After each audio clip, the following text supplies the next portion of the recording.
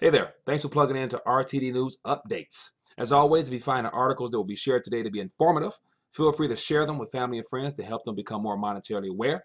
And also, if you're new to RTD, click the subscribe button below for more RTD News updates and interviews. Let's get into the news. So here we are. Here's an overview of today's articles where I'm going to go through. First one being Gold Yuan, Post-Dollar World Order emerging in Eurasia. Second one, countries are getting ready to ban cash. Third, central bank digital currencies, a revolution in banking. Fourth one, China's holding of U.S. Treasuries fall to lowest since 13, 2013.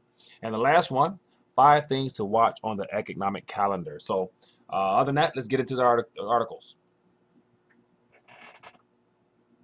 Here's a uh, great article out of Sputnik, and it's entitled Gold Yuan, Post-Dollar World Order Emerging in Eurasia.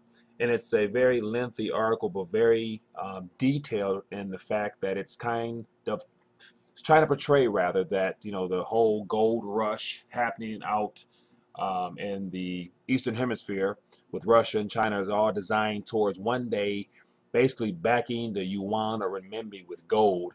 And so basically the author of this uh, article here just takes it back, you know, uh, into what's going on with the Shanghai Gold Exchange coming live this past April and how one thing that, difference it or distinguish it rather from um, other markets is the fact that, you know, if you don't if you if you don't have gold, yeah, I don't like this. Here's a great article from Sputnik, Gold Yuan Post-Dollar World Emerging in Eurasia. And so the author of this uh, article here basically trying uh, to paint the idea that the reason that there's such a gold rush out east is for the purpose of one day um, establishing a gold yuan that will compete against the dollar. And so the author pretty much lists of various events that have taken place over the last uh, couple months, especially this year, and what's happening on October 1st when the yuan officially becomes a part of the uh, SDR basket. Just to give an idea what's going on here, it says, a post-American and post-dollar multipolar world is struggling to be born. In an interview with Sputnik, geostrategist analyst Matthew Maavak and CNTV editor Tom Greger shed some light on current geopolitical trends and prospects of Eurasia's integration process. It says back in April 2016, China launched a yuan-dominated gold price fix on the Shanghai Gold Exchange, which in June, Hong Kong Exchanges and Clearing Ltd signaled its readiness to introduce a physically delivered gold futures contract settled in yuan and the U.S. in September. Simultaneously, Beijing accumulating these precious metals at a steady pace. According to the Gold Council's latest charts, China's official holdings is at 1828 tons, if you want to believe that, up from 3,000 or 395 tons in 2000. Meanwhile, China is pushing ahead with the internalization of its currency on October 1st, the International Monetary Fund basket will be officially expanded and to include the Chinese yuan. It seems that Beijing is seeking to boost demand for the yuan at the expense of the U.S. dollar. That gets into the gold yuan as viable alternative for the U.S. dollar. These developments have prompted a lively debate regarding uh, the possibility of a gold-backed renminbi compete the dollar and China's increasing role on the bullion market. And I thought this quote here was quite interesting. It says that the recently opened Shanghai Gold Exchange differs greatly from the London Gold Exchange in one fundamental area. In Shanghai, Buyers take physical delivery of gold, whereas in London, deals in paper-based gold future contracts. In Shanghai, what you buy is what you get, whereas in the West, gold is a virtualized commodity. And then it goes on to explain a little bit about the history of gold here in America. And it says precious metals like platinum, gold, and silver from universal standards of exchange in their own right, especially during times of economic uncertainty and currency volatility. During the Great Depression, the United States prevented the emergence of an alternative instrument of exchange, i.e. currency, through Executive Order 6102 in 1933, which forbade the hoarding of gold coin, gold bullion, and gold certificates within the continental United States. In fact, the U.S. government effectuated the monetary coup on behalf of the Federal Reserve, the analyst pointed out, highlighting that the White House almost forced the dollar upon the Americans.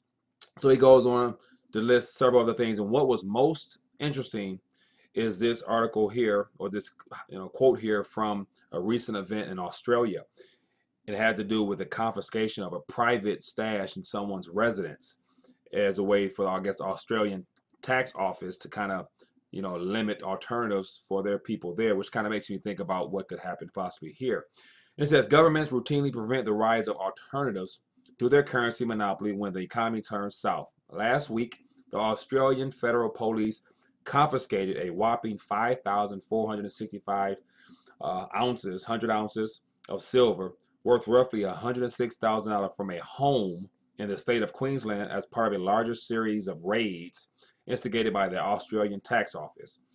The message seems clear. Private gold holdings may not be viably viable a rainy day hoard, not in the West.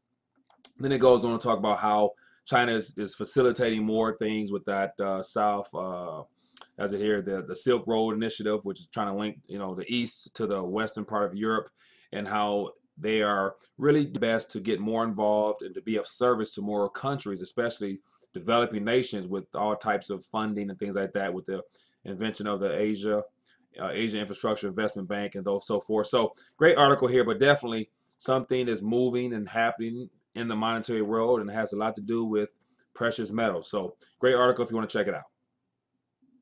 Here's a great article from the Daily Reckoning in Australia, and it's it's uh, quite interesting how uh, it's entitled "Countries Are Getting Ready to Ban Cash." And so just more to the concept of you know cash becoming extinct uh, down the line eventually, just because of convenience sake. You know, not too many people carry large amounts of cash on them anymore because we're in a digital age.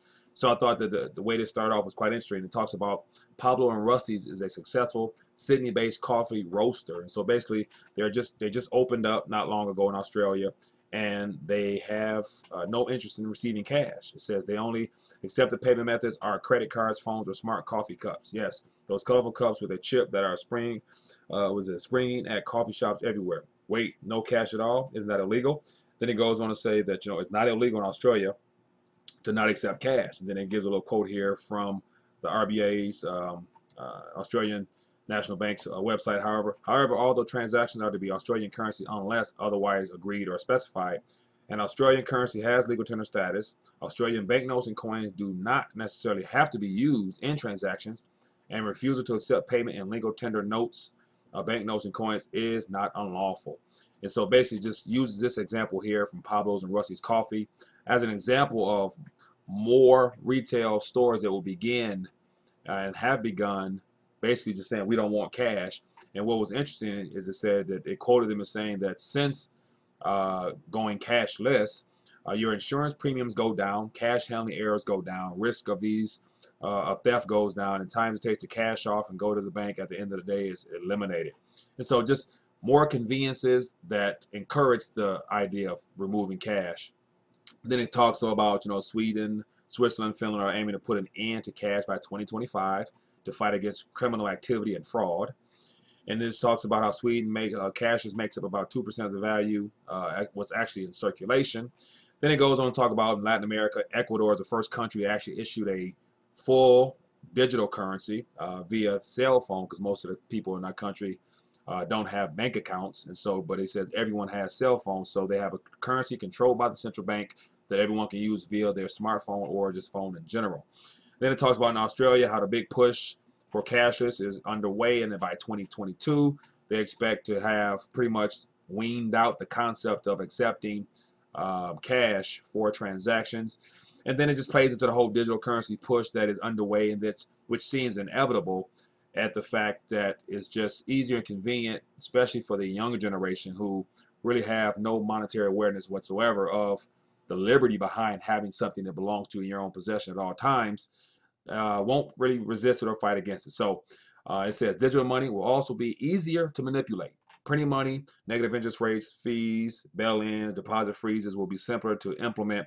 After all, you will have no choice but to have all your money in the bank, and savings outside the system will be nearly impossible unless you hold physical gold or silver. So, interesting article here if you guys are interested in checking it out. Definitely uh, interesting read.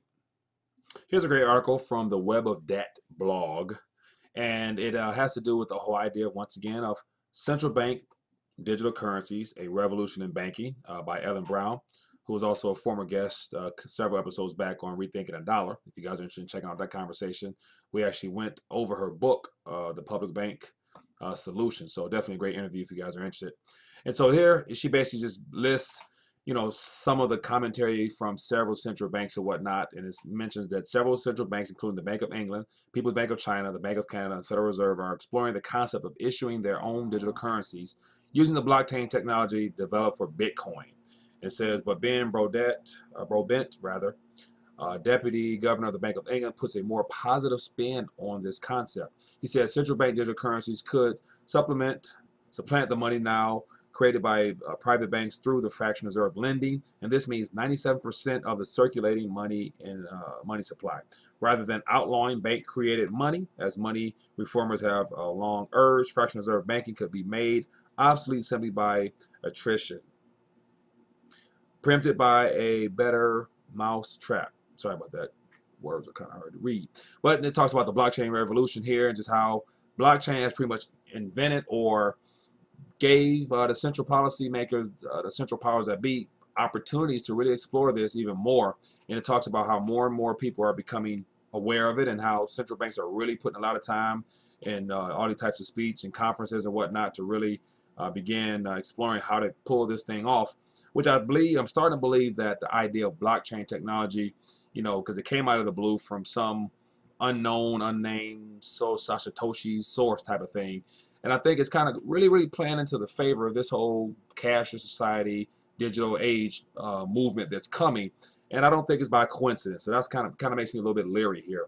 But anyway, she goes on to talk about banking in the clouds uh, making fractional reserve lending obsolete. And so definitely good article if you guys are checking it out. Uh, there's a lot of detailed quotes in here that makes it uh, very informative. So Ellen did a good job with this one. So if you're interested, articles below. Here's a great article from Bloomberg, and it's entitled China's holdings of U.S. Treasuries fall to lowest since 2013. And so basically here it has a great graph just showing how uh, still the biggest but the smallest. China's U.S. Treasuries holdings fall as, as reserves drop. And so basically it just shows a decline uh, and uh, lack of interest for the most part. And uh, China continue to uh, support and fund and cooperate with this current uh, monetary manipulation coming from the United States. And so basically it says here, just read you a little bit before you can read it for yourself. China's holdings of U.S. Treasuries fell in July to the lowest level in more than three years as the world's second largest economy uh, its foreign exchange reserves for support uh, to the yuan. The biggest foreign holder of U.S. government debt had 1.2 uh, 1.22 trillion in bond notes and bills in July, down 22 billion from the prior month and the biggest drop since 2013 according to the U.S. Treasury Department released Friday in Washington. And then it goes on. The figures compared with official Chinese data showing that the nation's foreign exchange reserves were little changed in July at 3.2 trillion, though they're down from a peak of close to 4 trillion, 4 trillion dollar in 2014. The reserves dropped 16 billion in August to the lowest level since 2011. The report, which also contains data on international capital flows, showed net foreign buying of long-term securities totaling 103.9 billion in July. It showed a total cross-border inflow, including short-term securities such as treasury bills and stock swaps, of 140 billion. So it's, it's, just amazing these numbers are thrown out of trillions, trillions, 4 trillion, 3 trillion, 1 trillion unbelievable numbers of just debt that's out there being held by China.